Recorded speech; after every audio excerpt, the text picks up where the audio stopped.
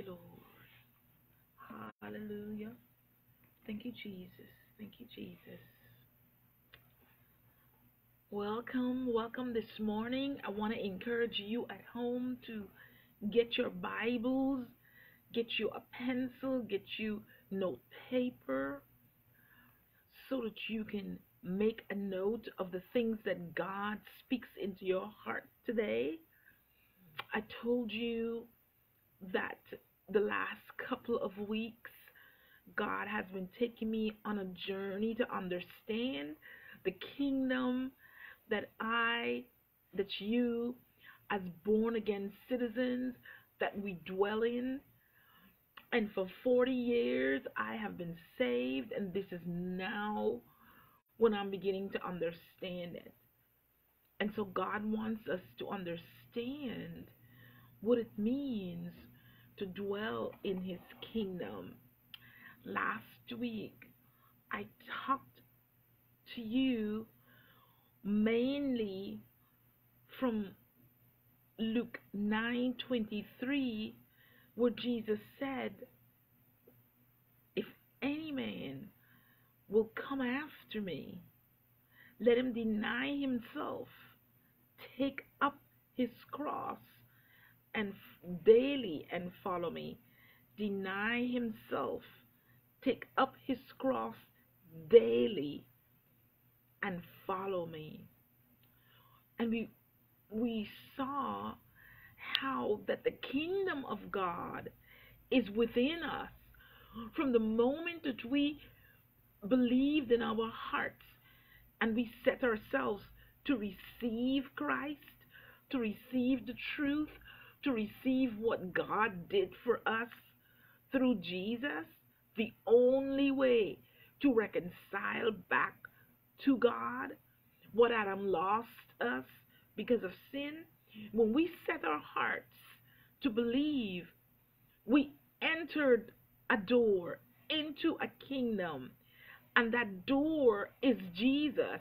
And we saw that he himself said in John 10 7 and 9, he said, I am the door. So we entered that door into the kingdom of God. But too many of us, we come to the door, we receive the door, but we never enter in. And we never understand the position that we're in. We never understand identity. And as a result, too many of us are falling, are failing. So this year, 2023, God wants it to be clear that we didn't just say a prayer and come to Jesus. No, something phenomenal happened. Something beyond this world happened. Something supernatural happened when we came to Jesus. We came to the door of the kingdom of God when we received Jesus, we entered into that kingdom, and immediately the kingdom came into us. So we are in a kingdom, and the kingdom is in us. And you know, without me understanding that, God showed me one day, I think it's during the pandemic or just before, God showed me how I am never empty of him when I walk in his principles. And he showed me it's like if I'm immersed in water and the water is in me. So every time I let that water out, whether it is out of my belly, like I'm doing now, rivers of water flow, or some other way, immediately that water comes back in. It's like if you if you have children or if you had children and you watch SpongeBob SquarePants, he's a sponge living in the water, living in the sea. So he's in the sea and the sea is in him. And that's how we are as kingdom citizens. Today, I want to talk about loving Jesus and keeping his commandments. So let's pray before we begin. Father, this is your word. These are your truths. You are the King of kings and the Lord of lords. Your kingdom is the superior kingdom over all other kingdoms. Your kingdom will go on forever, and we are a part of that kingdom, and that kingdom is in us. So open our eyes today. Spirit of the living God, you're upon me to speak through me to the captives, that they may be set free, to speak through me to those who are humble enough to come under you and accept your authority as King of Kings, to speak through me to those who are in prison, that they may be set free, to speak through me to those who are broken-hearted, that they may be bound up and healed, to speak to me through all those who are wounded, to decree and to declare the acceptable year of the Lord to them, the day of vengeance of our God against the enemy. And I thank you today for opening our eyes. Open the eyes of our understanding, dear Lord. You can't force us because you've given us choice. Created in your image, we have choice. We have to choose you. But Father, Holy Spirit, Jesus, precious King, I pray that you will lead us to that place of opening our ears, opening our hearts, that we may receive, that the spirit of understanding will come upon us so that we may be obedient to you. So we can deny ourselves daily, pick up our cross daily, and follow you. Thank you for it. In Jesus' name, amen and amen. So today, I want to con- continue our journey into the kingdom of God. Luke 17:21 Jesus said, "Behold, the kingdom of God is within you." And when Jesus speaks, we need to listen because God left his heavenly throne. This was a plan before the earth was created. He left his heavenly throne, came down to earth as a baby, as a human being. And as he grew up, at 30 years of age, he began to show us how to live on the earth. God became a man. God learned obedience by the things that he suffered. This God, who is the God of the universe, who created everything, even the ones who dwell in the kingdom of darkness. Even the leader of the kingdom of darkness, Satan, was created. Satan is a created being. He is not God's equal. He's not God's opposite. He's just a created being under God who has enough power because of his position before he was thrown out of heaven and he's wielding that power to get as many as he can away from God. That's his goal because he's an orphan, the biggest orphan.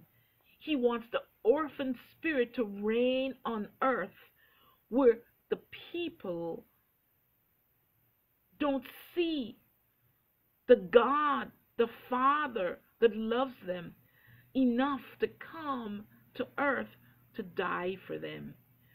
So when Jesus began his ministry, the first thing he said was, Repent. The kingdom of God is at hand. Repent. Turn around. Change the way you think. Change the way you see things. Change the way you operate. Because now the kingdom of God is here.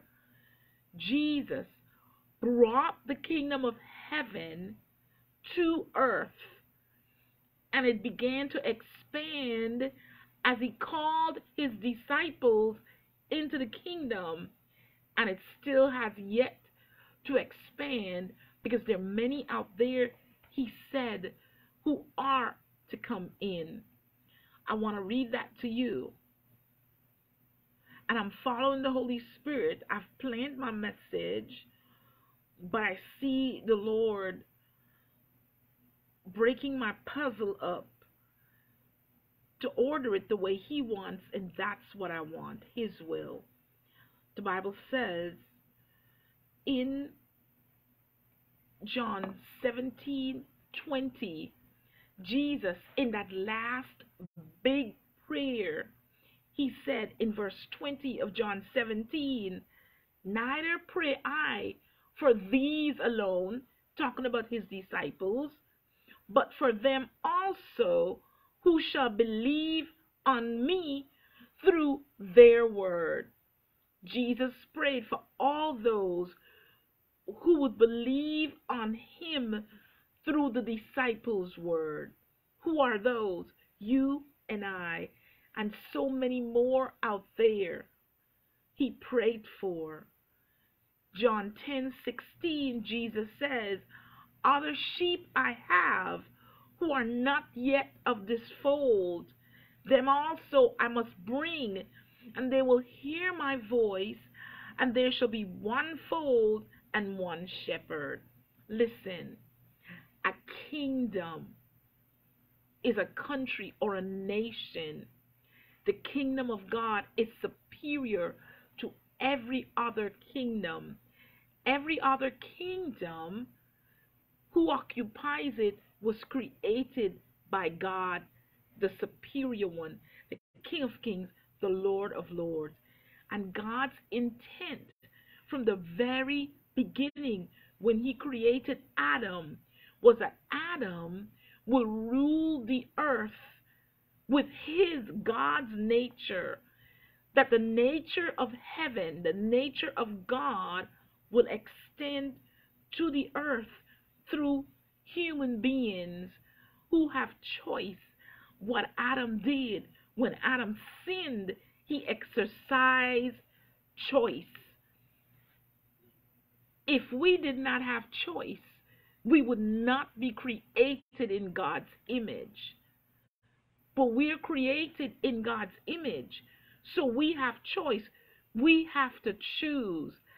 God has set everything up to give us that choice to look and see and experience and choose Him. Adam chose to sin. And as a result, he lost that dominion that God gave him over the earth. He lost the opportunity to extend heaven to earth because he looked at a tree with his wife and they ate the fruit that God forbid them to eat. So here comes God and had a plan before all that happened. God had a plan before the foundations of the earth, before he created Adam. He knew what Adam would do. And so here comes Jesus, the man God, to earth to bring back that dominion to us that Adam lost. And how did he do it? Through a tree, getting on a tree, taking our place. So when he came, he extended heaven to earth and gave us a job. Our purpose as kingdom citizens is to colonize earth, is to extend heaven to earth. Once we became citizens of heaven, once we entered to the door Jesus, then our identity changed. We were no longer citizens of earth. We became the citizens of the kingdom of God. We became sons of God. The Bible says in John 1:12 and this is Jesus speaking. But as many as received him to them no, this wasn't Jesus speaking. This was at the, at the beginning before he came on the scene. As many as received him, to them gave he power to become the sons of God, even to them that believe on his name. So, as many as number one receive Jesus, as many that believe in his name, two, he gave power to become the sons of God. So we have sonship. Ephesians 1 5 says, We are predestined. He predestined us for the adoption to sonship through Jesus Christ, according with his pleasure and his will. So we are adopted into the family of God. We're grafted in because of the blood of Jesus to the root of Israel. We have the right, Romans 8 tells us, to call God Abba, Father. And even before Jesus went to the cross, he told his disciples to pray this way Our Father, which art in heaven. And when he rose from the dead, he told Mary, he says, Go tell the disciples and Peter, I go to my Father and your Father. So, the first thing that happens to us when we enter the door and the kingdom come into us, we are identified as sons of God. Now, this is important. We see Jesus demonstrate that to us when he went down into the baptism waters in Matthew 3:17, I think it's verse 17, the heavens opened and a voice came out of heaven and said, "This is my beloved son in whom I am well pleased." And that was important because immediately the Holy Spirit sent him into the desert to be tempted of the devil. So for 40 days and 40 nights, he fasted. And after the fast was over, here comes the devil. And the very first thing the devil said to Jesus, pay attention to it, was if you are the Son of God, if you are the Son of God, turn these stones into bread. If you are the Son of God. And I want you to notice in Matthew chapter 4 and Luke chapter 4, Jesus never responded. Twice the devil said to him, If you be the Son of God. Jesus never responded to the question or to the statement or to the challenge, If you are the Son of God. He did not respond because he knew his identity. He knew whose he was. His identity was spoken over him 40 days ago before he entered into that state of fasting. He knew whose he was.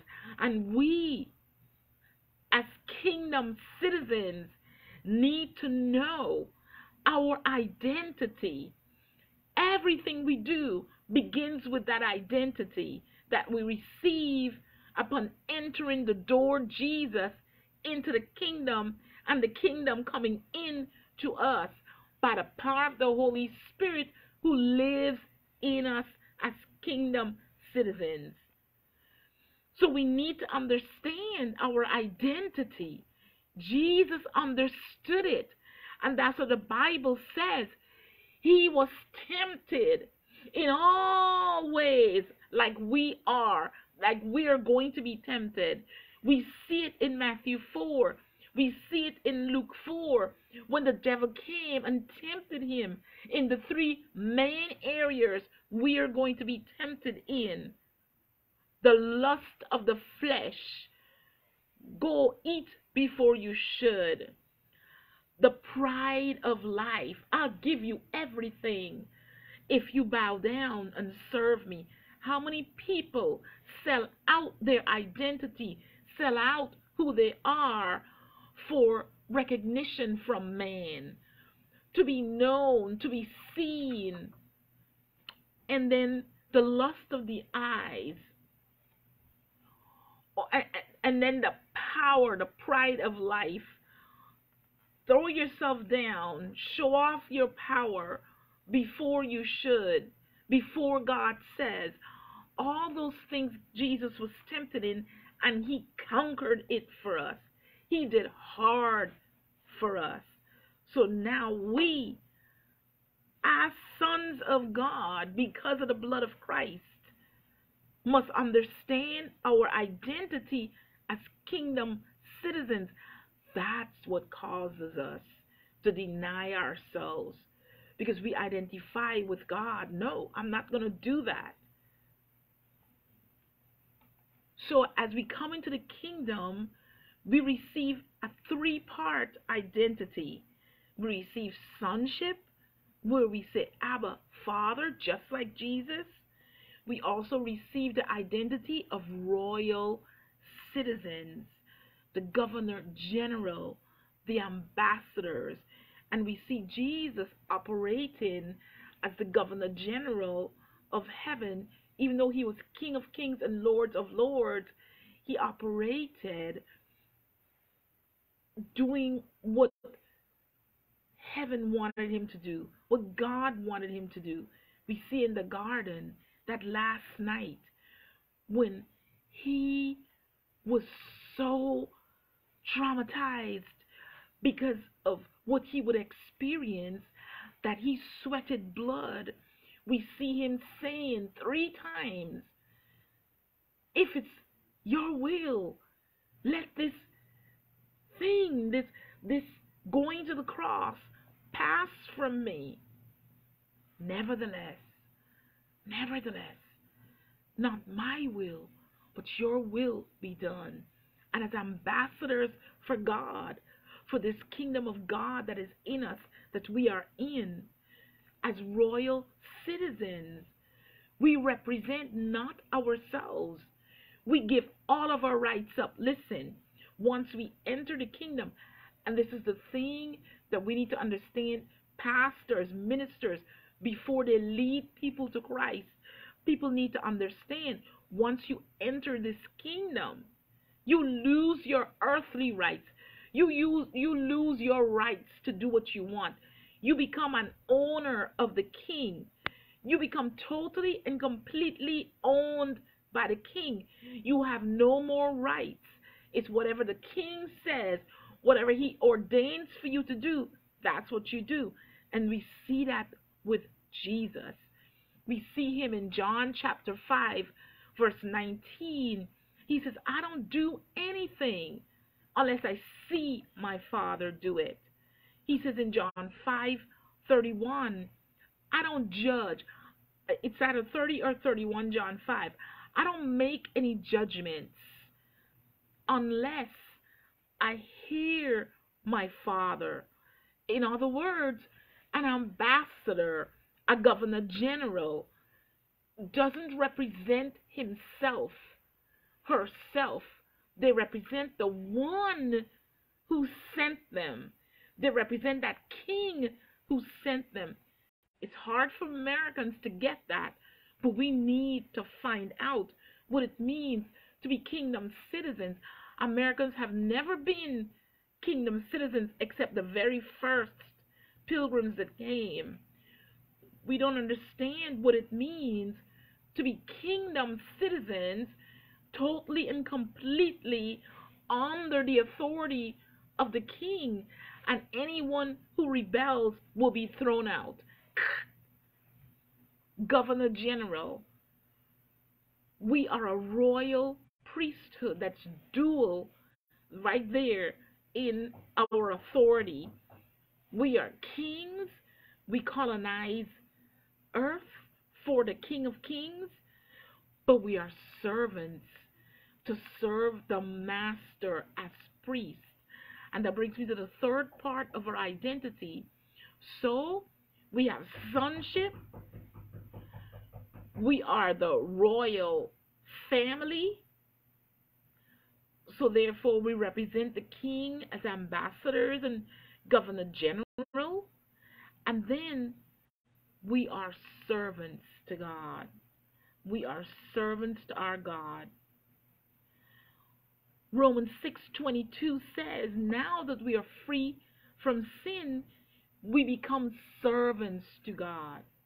And I'm giving you just a few scriptures.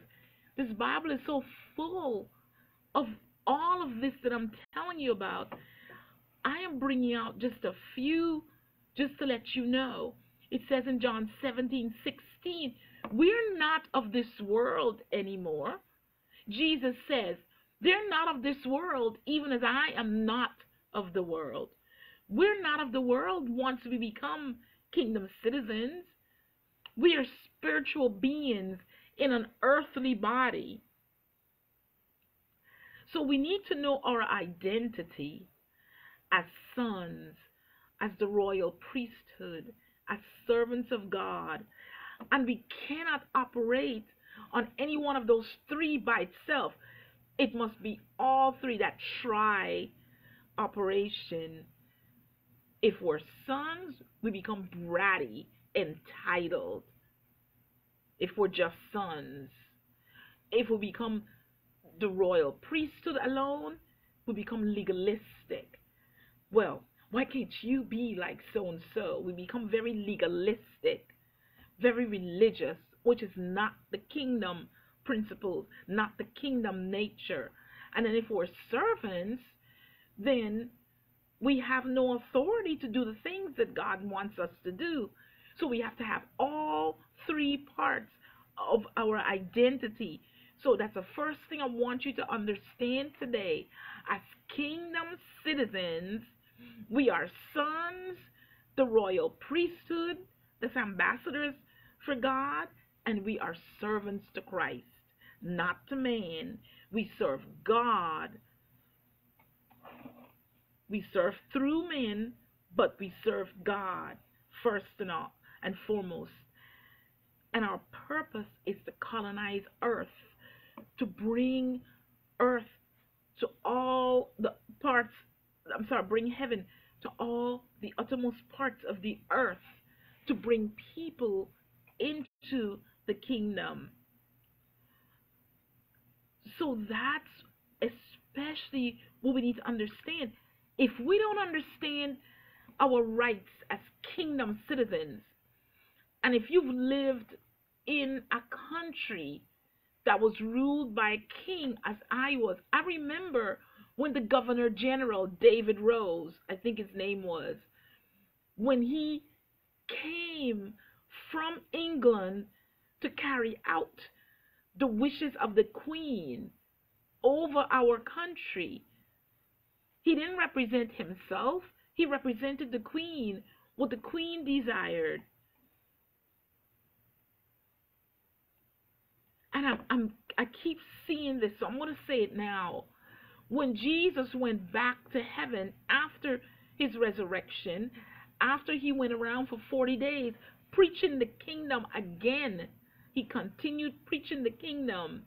When he went back to heaven, the Holy Spirit was sent.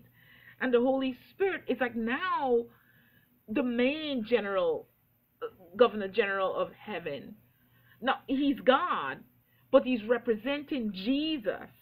He only represents Jesus. The Bible will tell you in John 15 and especially John 16 that when the Holy Spirit comes, his job was to not speak of himself, but to speak of Jesus. Represent heaven, represent the kingdom.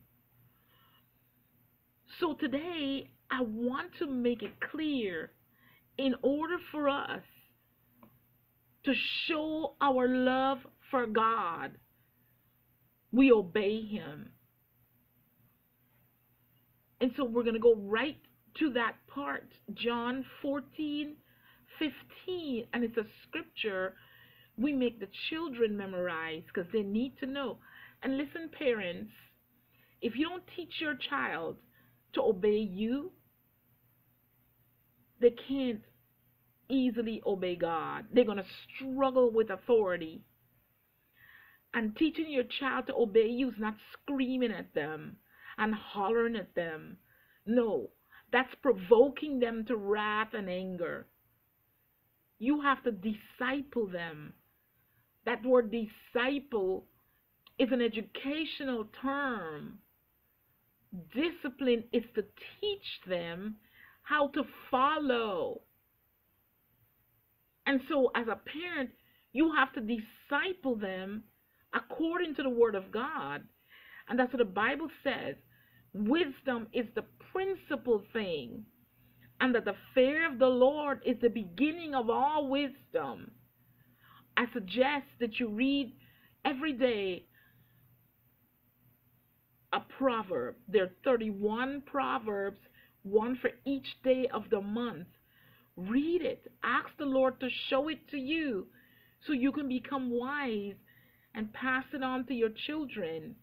Because if you are going to show your love for Christ, if a child is going to show their love for Christ, God doesn't have grandchildren.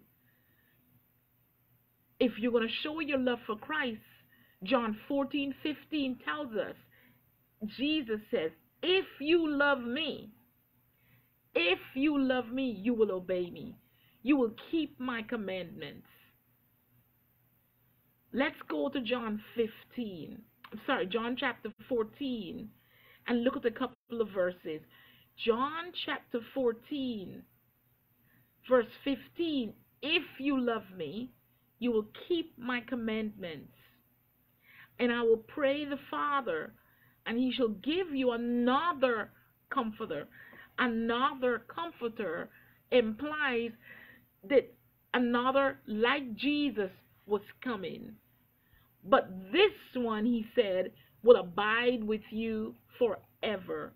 He had to go back to heaven, but the Holy Spirit, the, the another comforter that was coming, will abide forever with us. Verse 14, sorry, verse 17 of John 14. Even the Spirit of truth, the Comforter, was not just the Comforter, he was the Spirit of truth.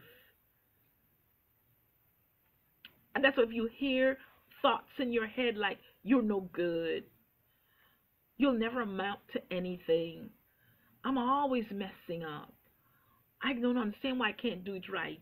That is not the Holy Spirit. That is not your Father. That is a devil allowed to penetrate your mind for too long and you need to not listen to those voices, but instead begin to speak. Begin to speak and say what thus says the Lord. Because He's the Spirit of truth, and that that is being said to you is not truth. That's not what He said. When God made the world, those first five days, He looked at all He made and He said, It is good. But when he made Adam, he looked at Adam. He looked at the human he created and he said, It is very good. Very good. So if you hear in your mind you're no good, that is not God. The Holy Spirit is a spirit of truth that the world cannot receive because it doesn't see him it doesn't know him. But you, you who know him, he dwells in you. Jesus told them at that time, He's with you, that's Jesus, and He shall be in you, that's the Holy Spirit. They're, they're one. Verse 18 I will not leave you comfortless, I will come to you. He's saying, I'm going away as you see me in the flesh, but I will come to you in the Spirit, in the form of the Holy Spirit. It's the same God we're talking about. Three parts like an egg the shell, the yolk, and the white. Three parts of an egg, but one egg. Same with God. God has three parts God the Father, who's a spirit, God the Son, who's Jesus, and God the Holy Spirit, who's absent from heaven now and lives with us. So Jesus says, I will not leave you comfortless, I will come to you.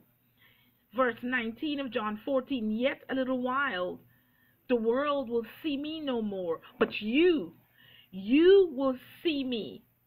Because I live, you will live also.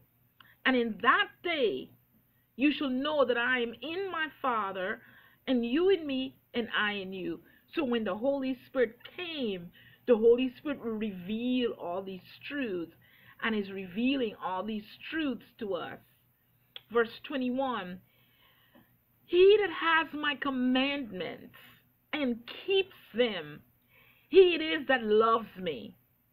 If you have God's commandments and you keep them, then you show your love.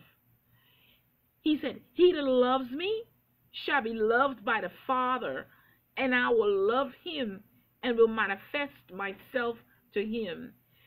Now, listen, we already have the Holy Spirit. Here comes the whole govern, governing body of heaven to dwell with us when we obey the commandments, the principles, the precepts, the laws of the kingdom. So in verse 22 of John 14, Judas, not the one who betrayed him, said, Lord, how will you manifest yourself to us and not unto the world? They didn't understand until after he was resurrected. And this is what Jesus said to him. And this is what I want you to hear. It's a repetition and a clarification of John 14 15.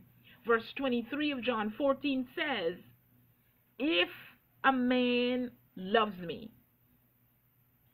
if a man loves me, he will keep my words. If a man loves me, he will keep my words. And what will happen as a result? My Father will love him, and we will come unto him and make our dwelling with him. And that's the kingdom in you. Here we have the Holy Spirit, but now because we are living by God's kingdom principles, we've got the whole government, the whole governing body with us. And whenever a king comes, so comes his servants. So now we have all the angels at our disposal, not to do our will, but to do the will of the Father.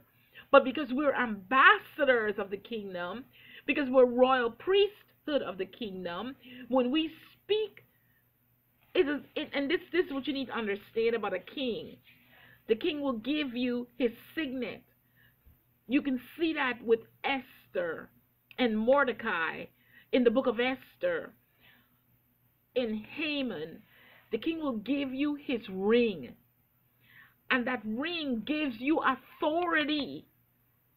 Because now you can make decrees and seal it. They used to put wax on it and take the seal of the ring and press in the wax before it dries. And when people see it, they know that this is an edict from the king. That's the authority that we have as the royal priesthood of his kingdom. When we speak his words, we press his signet ring into the atmosphere. The angels hear and they operate because we're speaking the king's words.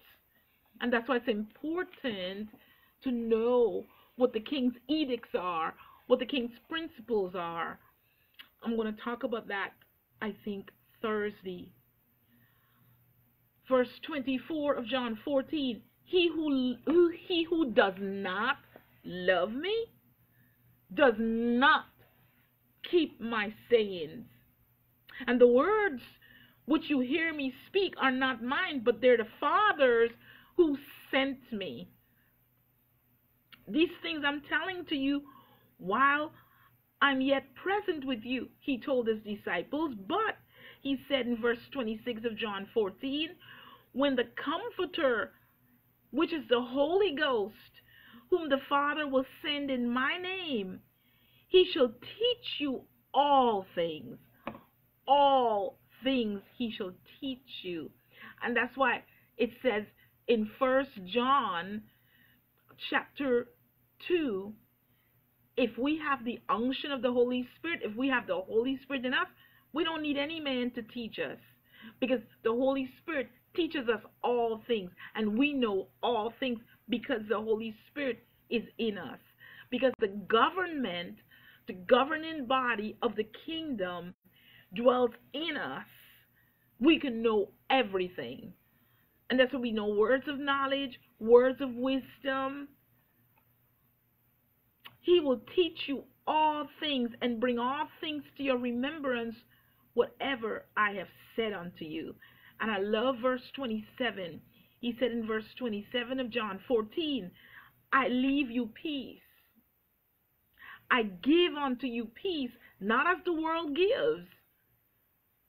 Let not your heart be troubled, neither let it be afraid. And that's how the devil wants us to live in fear and in a troubled heart. And Jesus says, No, as kingdom citizens, the ones who understand the truth because they allow the Holy Spirit in them to reveal these truths from the Word of God. Remember, he says in John 6, in Luke 17 21, the kingdom of God is within you. The kingdom of God is within you. And this is very serious for you to understand. The kingdom of God is within us to change our nature, to equip us, to empower us, to partner with us, and even sometimes to carry us. And that gives us the power, the strength, everything we need, the wisdom to deny ourselves. Today, I see somebody whom I just developed this dislike for, and I want to give them a piece of my mind, and the kingdom in me restrains me and says no. And so, what do I do? I obey my king. I obey my king. I repent. And I pick up his nature, which is in me. I choose the superior nature in me. And don't go back to the nasty nature of the world that I already gave up. But sometimes we go and pick up that stink old dead man and carry it around and it stinks. We have the nature of the kingdom of God. We have the king living in us. We have the nature of the king living in us. He says, Deny yourself. I see something that I want, so I want to steal it. And the, the kingdom in me says, Mm-mm. So what do I do? I says, God, I'm so sorry. Whatever is in me that's causing me to want to steal, I renounce it. It is not my nature because I have the nature of you, my king. So I renounce this. I turn my back on it and I pick up your nature. And you ask him, what is it that I need that makes me think this way? Because if we're stealing, if we're living like hell, then we're reflecting a nature that is not the king. We're not representing the king. So we need to deny ourselves and daily pick up our cross. What might be your cross? I don't know. Everybody's got a cross to carry because of the world that we live in. It might be that no matter how hard you seem to work, there's not enough money. Then that's a process that God is taking you through that you need to stop and speak with Him about. Spend time talking to Him about this. Why is it that I don't have enough money even though I'm working? God, what is going on? This is not your nature. Your nature is for me to prosper. In me is prosperity. In me is the conqueror. Why am I why am I not conquering? Is it something that I do? Am I spending my money unwisely? Is it because I'm not doing the first thing you asked me to do, tithe? I'm not tithing? If you don't obey the king and give 10%, you're being treasonous. What is it that I'm doing wrong? Or is it roots from the third and fourth generation that are trying to creep up on me? We need to flip that root and understand it is now under the blood. That is not the nature of the kingdom anymore. So as you come into an understanding and he opens up your eyes, you begin to see and you begin to do what the Bible says. First things first. Seek first the kingdom of God and his righteousness. Bring all your first fruits into the barn. Tithe. Save. And as you begin to do what God says to do, he begins to expand your finances your power to get wealth, your wisdom to get wealth, your wisdom to develop witty inventions in honesty and integrity. So, what is your cross to bear? Is it a rebellious child? Then you need to sit down and examine. I did not train this child up the way this child should go. Sending a child to church is not training them up. It's first and foremost living a life of righteousness in front of them. And I'm not talking a religious life where you smack them with the Bible, but you're living like hell, where you curse them, where where you're you're mean to them. That is not the nature of the kingdom. So you have to examine it. It's hard to accept that this creature is act, acting up. It's my fault. But you got to admit it. You got to confess it. You got to tell the truth because that's the nature of the kingdom.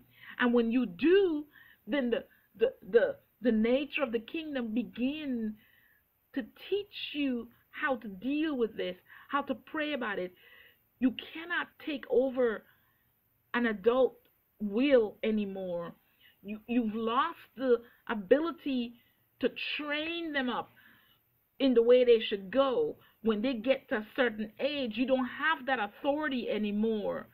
But as a matriarch, as a patriarch of the family, you have authority to pray and dig roots up and decree and declare and watch the angels go to work leading them.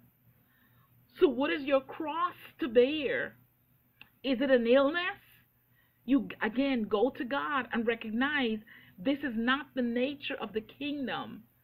As it is in heaven, so be it in my heart, in my life, in my body. If the kingdom lives in me, then the ability to be healthy, to be whole, lives in me. By his stripes I am healed. And as you begin to meditate on that, then you're going to find health overtaking you? What is your cross to bear? If it's rebellion, we've got to confess it. It's very treasonous to not follow God. And, and you know what? As I'm studying, I'm so amazed. I just saw this as I was doing my Bible study Friday. It says in Matthew 10 38, he that does not take up his cross and follow after me is not worthy of me. He that does not take up his cross and follow me is not worthy of me. If you're not worthy of him, he's going to cast you into hell. We cannot allow that. So we have to do what he says. His principle is pick up that cross, quit whining, pick it up and follow him. In other words, you're examining with him what is this cross? Why am I bearing it? How does it glorify you? What to do and all that good stuff. From the very beginning, God gave dominion over the earth to Adam. The dictionary says dominion is sovereignty or control. When you are in charge of something or you rule something, you have dominion over it. And the Bible says the most famous use of the word occurs in the Christian Bible when God grants dominion to man. Imagine that. In Genesis 1:26, God says, "Let us make man in our image after our likeness and let them have dominion." And verse 28 says, God blessed them, and God said unto them, Be fruitful, multiply, replenish the earth, subdue it, and have dominion. Dominion in Hebrew is radah. Radah. And it means to rule, to dominate, to tread down, to subjugate, to cause to dominate. So Adam lived in the kingdom of God right on the earth realm with God as his king. And God gave him dominion over the earth. But of course, we know that Adam messed up big time.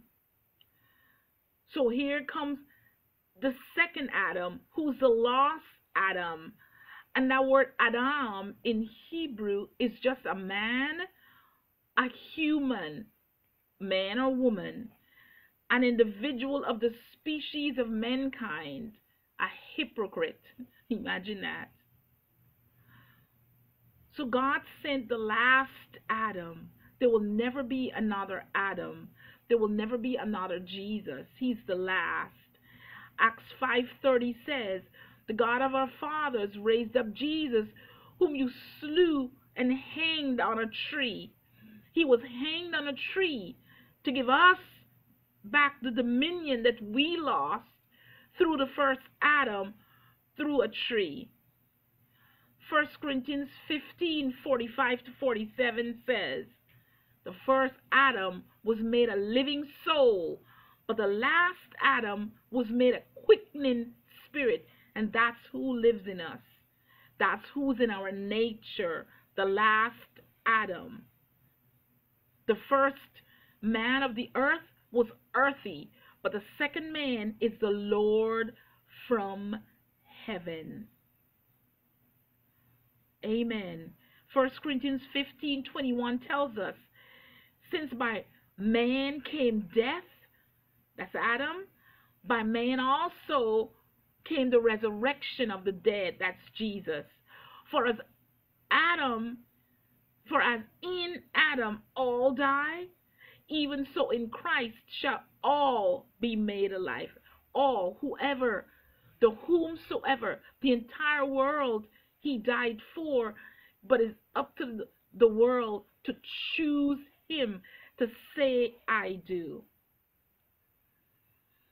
Oh, God is so good. God is so good. Romans 5:15 says, if the offense through one caused many to be dead, much more the grace of God and the gift by grace which is by one man that abounds to many. So earth is a colony of heaven, his rule, his dominion, but he gave us dominion to rule it in his stead. God is in heaven.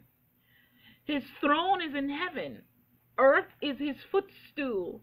And we on earth rule the earth in his stead. But it must be according to his principles, according to his plan. Jesus came to bring that reign back on earth. From the time he started to preach, he showed that. But we've got to do it according to the principles of the Bible. And the first principle, as we come to the end of this message, is that you must be born again. Flesh and blood cannot inherit the kingdom of God. First Corinthians 15:50 tells us. And Jesus said himself, you must be born again. John 3 3, Jesus said, Except a man be born again, he cannot see the kingdom of God. So, friend, I want to ask you today are you born again? Are you truly born again? Did you enter the kingdom of heaven through the door, Jesus? Did you receive the kingdom in you supernaturally as you entered the kingdom of heaven? Do you understand that once you enter the door, Jesus, you've given up your rights to earth? You're now a spiritual being in a natural earthly body, but now you are not a citizen of earth you are now pilgrim strangers passing through. You are now hooked up to heaven. You are now the property of heaven. You've lost your rights. Now you serve the living God. But as servants of the living God to do his will in the earth, we're also sons. We're also the royal priesthood. Oh, God is so good. So, as we end, I want to give you a brief characteristic of the kingdom. Number one, it's in power. It's in power. 1 Corinthians 4:20 tells us the kingdom of God is not in word, but in power the, the next thing I want to tell you about the kingdom, it's in righteousness. So if you're still sinning, if you're still lying and stealing and cheating, if you're spiteful and mean, if you're cussing your children and kicking the dog, you don't have the nature of the kingdom. Check yourself. You're not in the kingdom yet. The kingdom is not in you yet. There is no way that you can have the nature of heaven and still be mean and churlish. You're choosing to keep that old stinking nature and it's got to stop. The Bible says, and I want to remind you this as we come down to the end, in 1 Corinthians 6, verse 9 and 10, do you not know that the unrighteous shall not inherit the kingdom of God? Don't be deceived. Don't be deceived. Neither fornicators, nor idolaters, nor adulterers, nor homosexuals and lesbians, nor abusers of themselves with mankind, nor thieves, nor covetous, nor drunkards, nor revilers, nor extortioners shall inherit the kingdom of God. And this is repeated in Galatians 5:21 and Ephesians 5:5. Don't be deceived. The nature of the kingdom of God is holiness and righteousness. And as we learn the kingdom that is in us through his manual, revealed by the kingdom in us, the Holy Spirit in us, we become more like him because we, we begin to choose the nature of the kingdom in us. The kingdom of God is an everlasting kingdom. The Bible says it will never fail. It says in 2 Peter 1:11, an entrance has been ministered unto us abundantly into the everlasting kingdom of our Lord and Savior Jesus Christ. Psalm 145:13 says, Thy kingdom is an everlasting kingdom. Thy dominion endures through all generations. We live in a kingdom that cannot be moved. It cannot be moved. Hebrews 12:28 says, "We receive a kingdom which cannot be moved." So let us serve God acceptably with reverence and godly fear. Reverence and godly fear.